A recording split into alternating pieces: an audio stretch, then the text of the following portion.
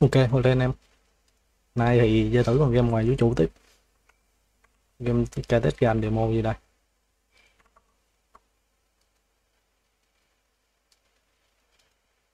Tắt bớt về top đó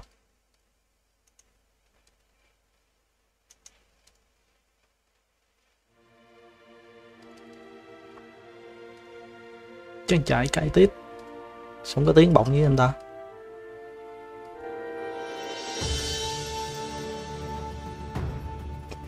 Thể loại ờ, bắt thú nông trại với mà nói chung là vẫn là giống mấy con game nông trại mà vũ trụ chơi hôm bữa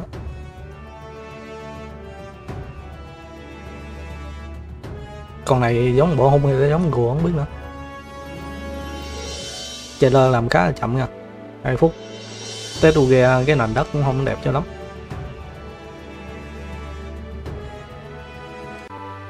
Đồ họa này tôi nghĩ là chấp giá rất là nhiều thứ khác vô đó.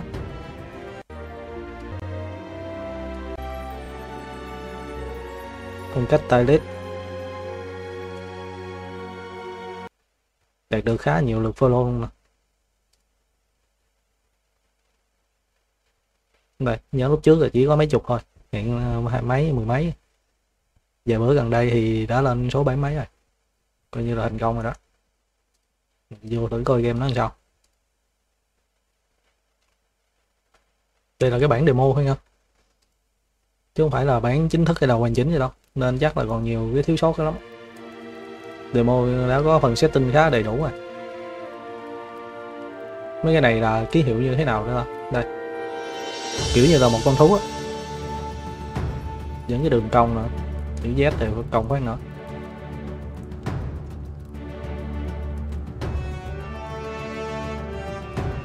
Đây, nó có bật sẵn FPS UBC này. Có luôn cái guitar này nha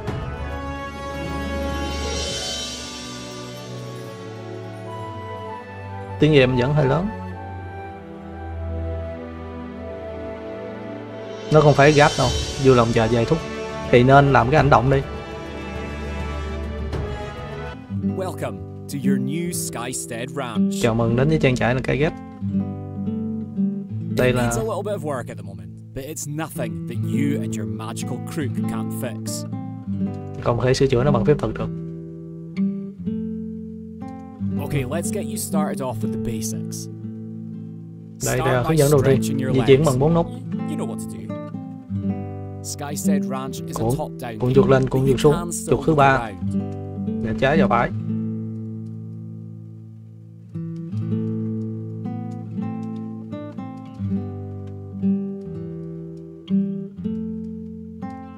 Sao không có làm gì được ta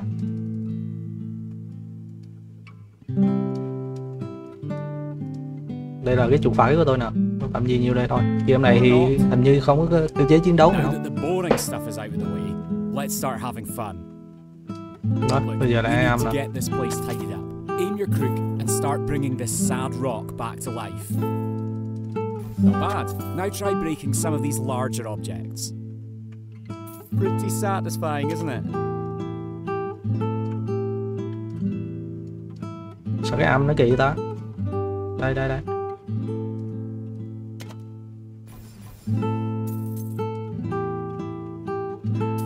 âm nè led lít nè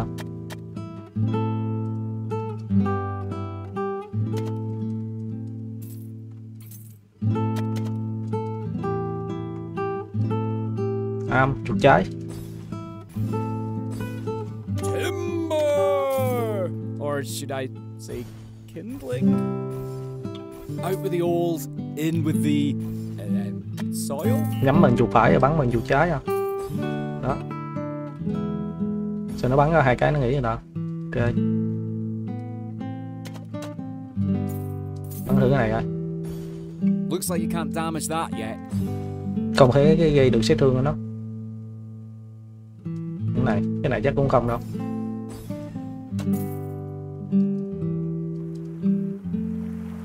Còn cây nào nữa mà nó bắt mình làm ba cây đó? Đây hả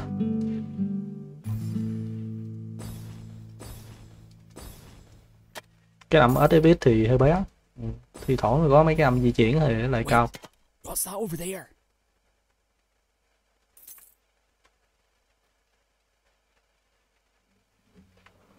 đi đâu đây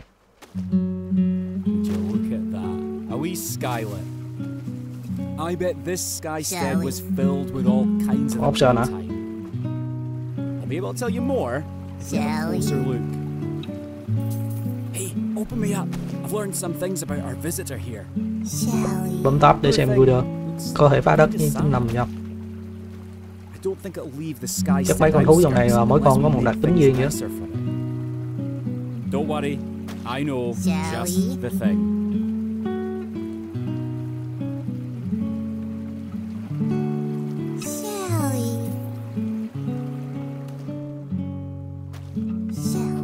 We? 43 là gì bắn đây chứ Shall we? Shall we? Shall we? giờ mình làm gì nó vậy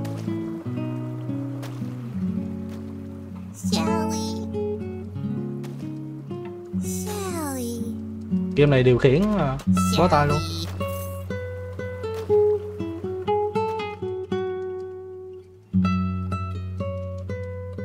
tôi vẫn chưa biết cuốc đất làm sao rồi ơi Shall we?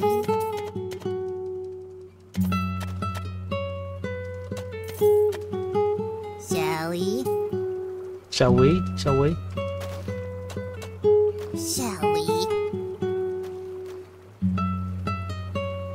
nó không có mà kênh đao hay animation gì nên nó rất là chậm luôn Don't forget to investigate Shelley to make sure our records are complete.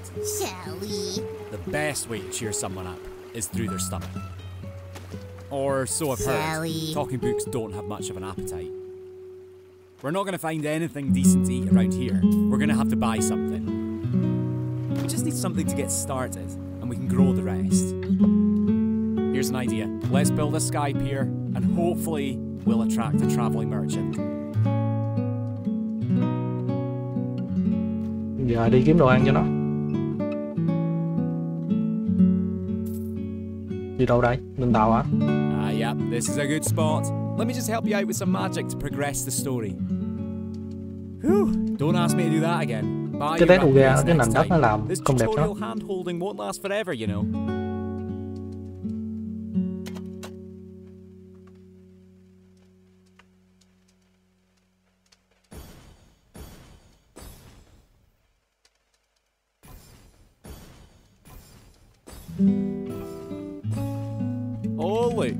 A skyship is arriving already. That's pretty convenient, isn't it? rồi làm gì đó Leave a tip. tàu đâu?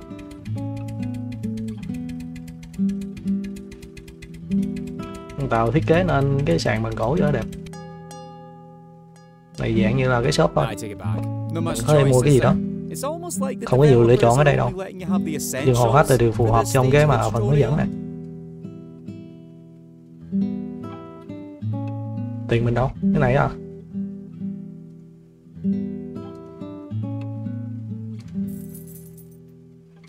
cái nhiệm vụ ở dưới đây mà nó lại hiện ở trên So you have a Rồi, red berry xong rồi. and a dig spell.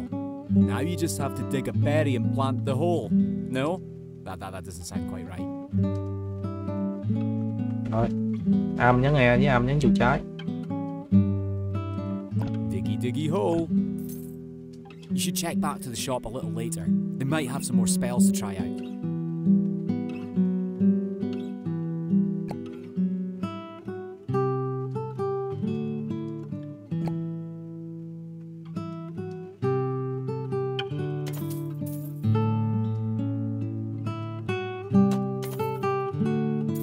làm gì ta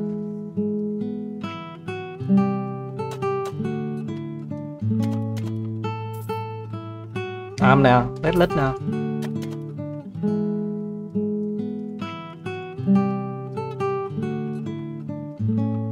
Cơ chế điều khiển gì nó ngộ bó tay game luôn.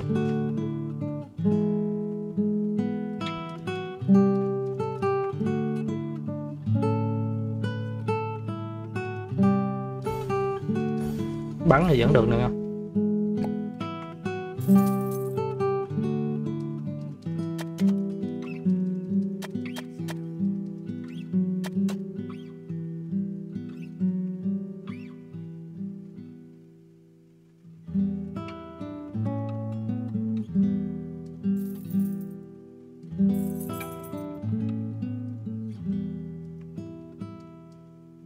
Trời ơi Now that's planted, we just need to wait for it to grow. có hệ thống vỏ đồ à me show you this cool thing over here. There we go again. Someone at Toasty Labs flipped the wrong light switch. phải nhắm vô đó rồi bấm chuột trái để nó nhặt lên chứ bình thường là người ta đi lại người ta bấm là nhặt thôi cái bảng này thì sau tất cả cái hiệu ứng mà cái trạng thái của cái vùng đất của mình that you transformed some of the earth to make our Shelly friend happy. It'll come in handy later on for more advanced skylids. There isn't much else to show you here, but make sure to check it out later on.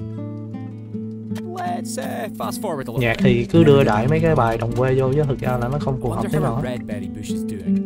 Spoiler, it's fully grown now. lớn nhanh đó ha Now we have a bush, it'll keep growing red berries. bây giờ cho ăn usually grow that fast, but you get the idea. Let's make our new Shelly friend feel welcome now. nào mới đủ ba trái nữa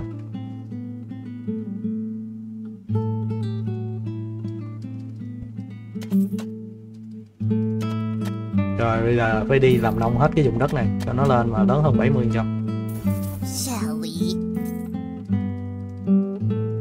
cài ra đấy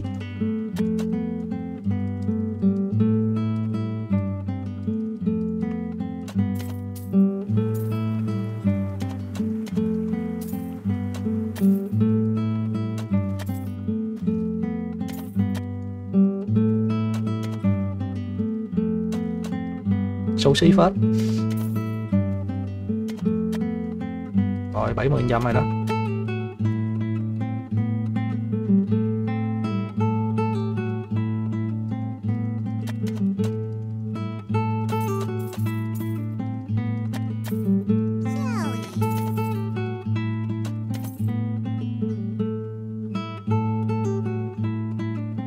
Nào mấy cây nào mới chín, để mình thấy nữa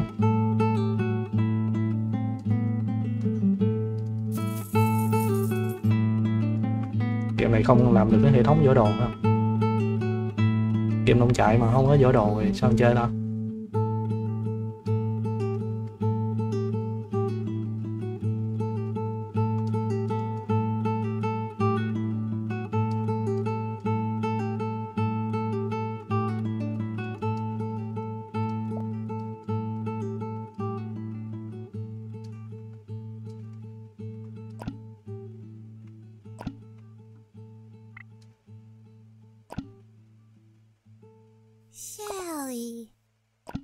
Chúng nó lạnh một khúc gì nè.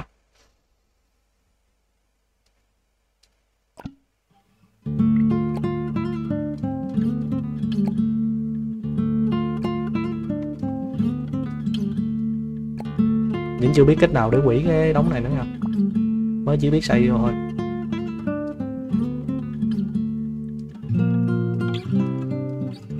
Không có mua được mấy cái hộp khác.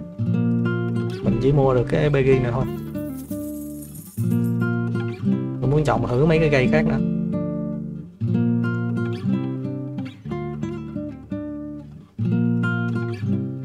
Nhưng mà bản demo này thì chỉ trồng được mỗi loại cây mà nho này. Hầu như trong mấy con game sinh tồn nào nó cũng bắt đầu cái cây nho này chứ.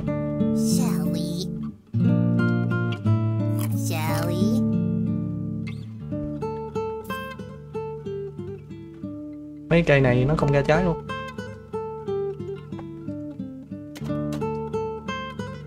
đầu tiên là cái hệ thống trồng trọt này là cái thao tác điều khiển là quá tệ rồi.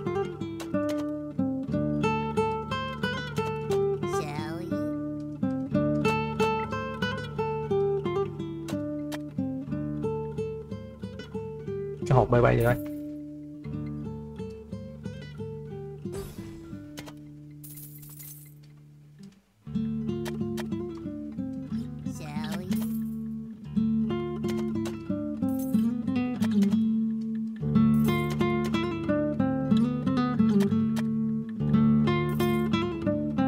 bây giờ chờ cây nó lớn à rồi lớn rồi nè.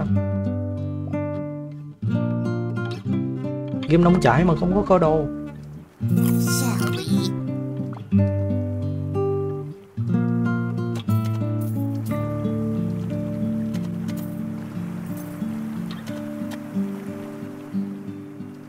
Rồi mình tương tác với nó. Con này là con phèo la I have been talking a lot. Why don't you decide which Skylet we'll try and find next?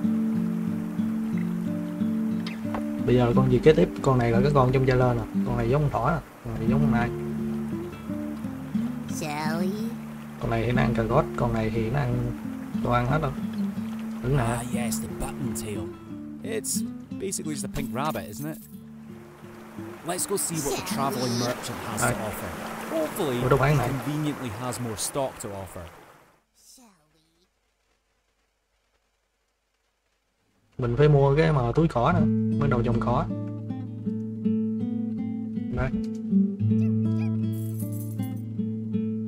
Trồng được khá khá cây đó. Làm cái hệ thống kho đồ vô một cái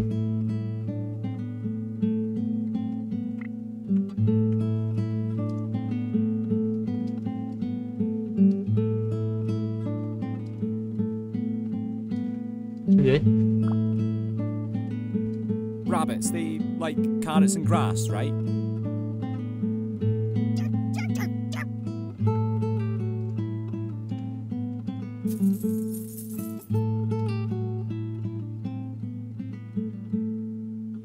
cầm sẵn trên tay luôn nè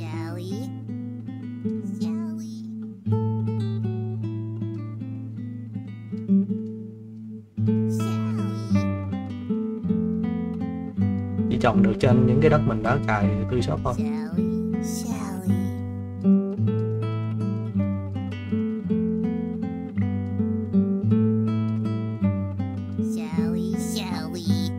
Rồi bây giờ là à, làm thêm miếng đất nào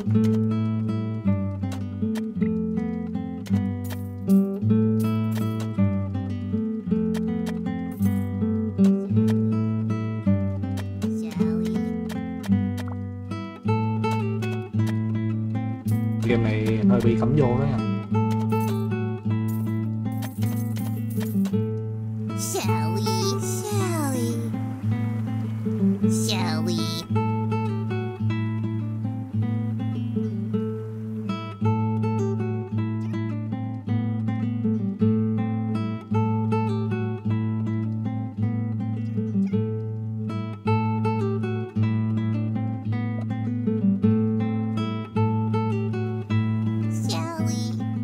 Nhạc này là toàn lấy mấy bài trên mạng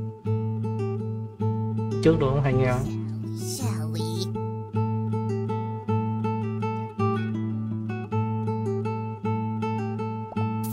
đây tương tác với con thỏ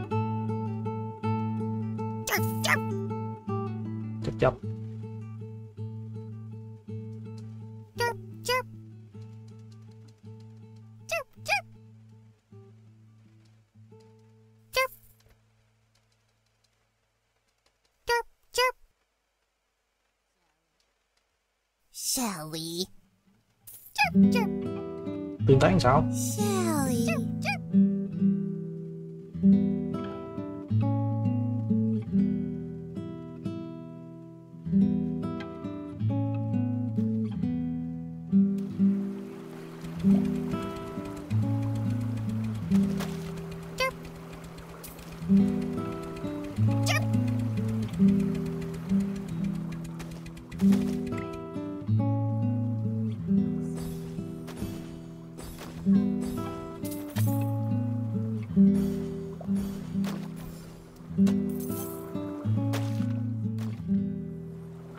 xây được cái cầu các bạn. Vô nông trại thì bắt buộc phải có câu cá. Đây con này đó. Con này con khóc không biết thân tay. Là con quỷ nó ở đâu?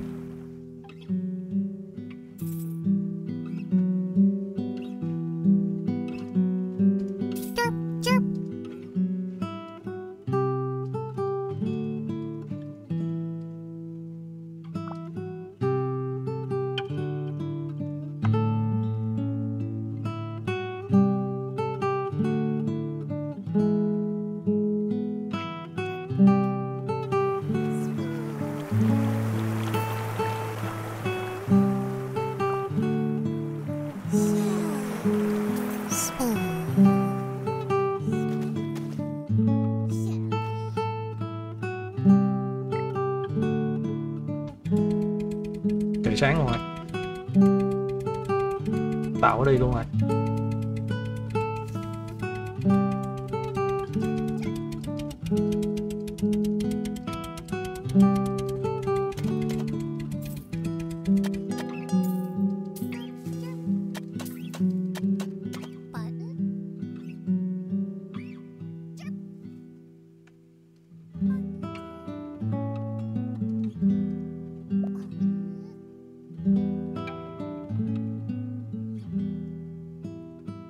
Gót thưa đi đâu rồi luôn bóc luôn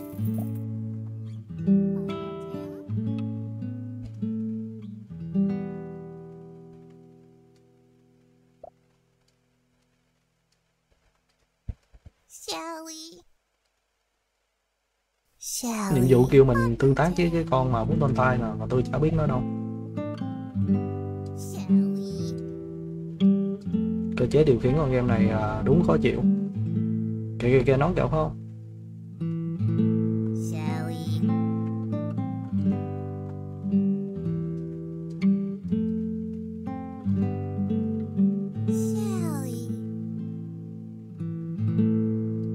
Thế nào? Giờ nó mới xuất hiện. Lớn hơn 20 trăm cỏ nữa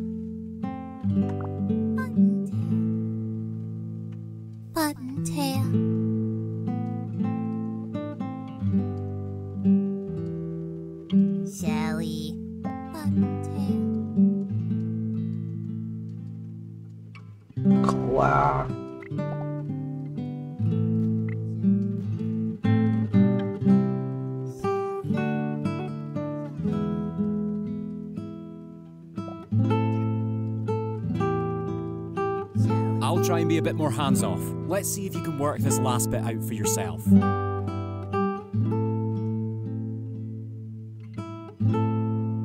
rồi bây giờ mình bắt nó về Now that's how you hex seed. Get it? He- hex seed. Now, bây giờ cái môi trường cỏ là phải cao hơn nè cứ đi nữa đất đồ ăn cho nó thì phải có cái cỏ cao 10 trăm nữa hả it looks like something could be up there, doesn't it? That isn't. Well, sau này mình có thể mở rộng hòn đảo ra cho thêm cái số nữa the vô đây. Sorry. The devs have plans to have an extra windy zone up on top of that cliff. Only certain plants can grow in those conditions, but I'm sure the skylets will like the breeze. cỏ cao là cái nào đâu tôi không biết nó đang cầm cái gì luôn á chắc màu xanh này quá đó đúng rồi đó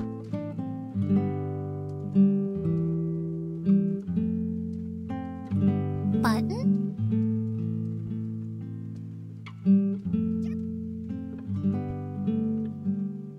cỏ cao bây giờ mới có 5 phần trăm thôi Um, you did remember to top up the electricity meter before playing, yeah? Oh, no, ne- never mind. It's just night time. My bad.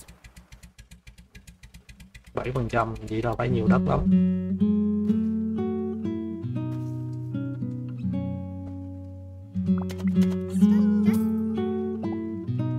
trời ơi, nó quay kìa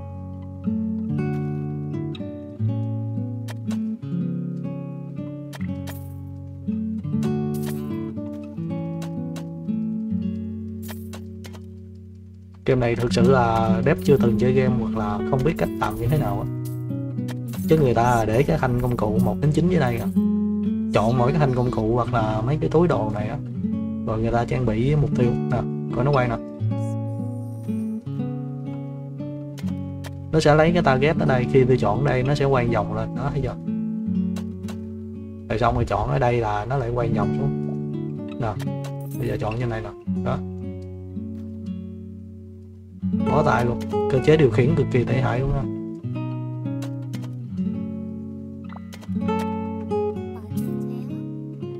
trong khi không có hệ thống kho đồ nữa nha. Nhưng mà tôi cũng cố chơi thử coi tương lai tiềm năng game này như thế nào. Chứ mấy lỗi cơ chế điều khiển như thế này mà công khắc phục trong tương lai thì game như tôi đó.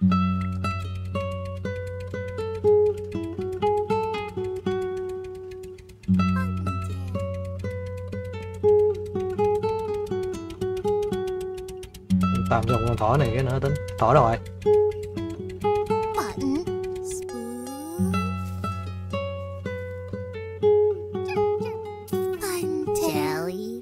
Cho nó ăn cà gót.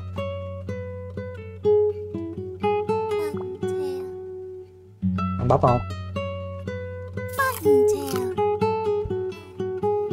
Cũng được nó cũng chịu ăn bắp nữa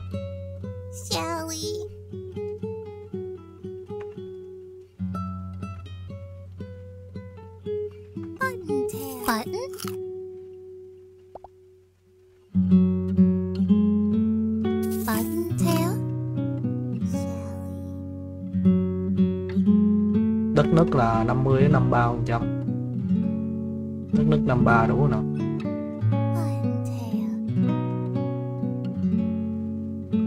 Cỏ là 20 đến 30 phần trăm. Đủ trên mà ta. Yeah.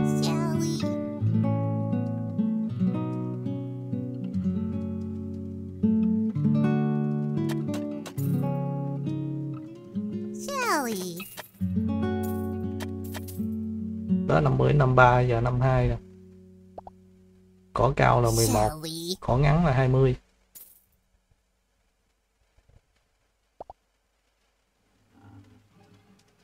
cái bản này thiết kế theo kiểu mà đúng đánh đố nhau luôn á. Cái này là cỏ hay là cái này là hoa hả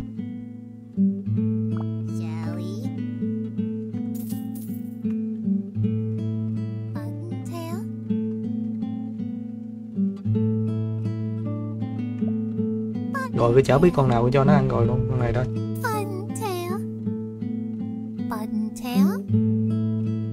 20 phần trăm mà để lớn hơn 30 phần trăm. À để cái mũi tên là 20 đến 30 đi.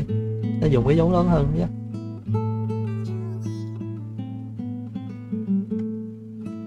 Như thế này không chịu 20 nữa.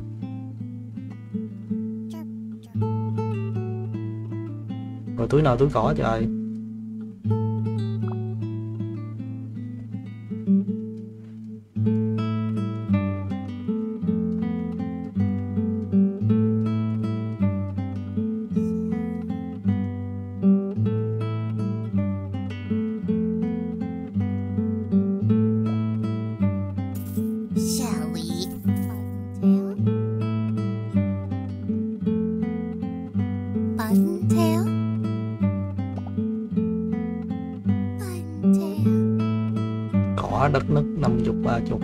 chả biết sao luôn.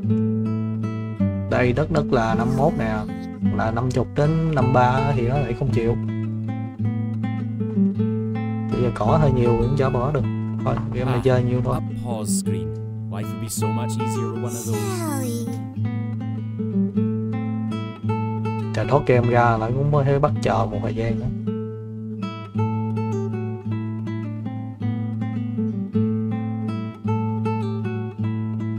nhạc thì toàn lấy ba cái bài của ta trên mạng rồi